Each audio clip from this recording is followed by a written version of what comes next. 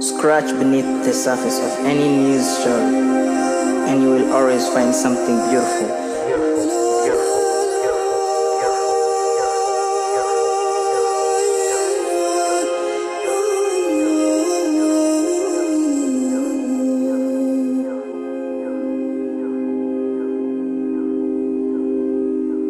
Always find something beautiful.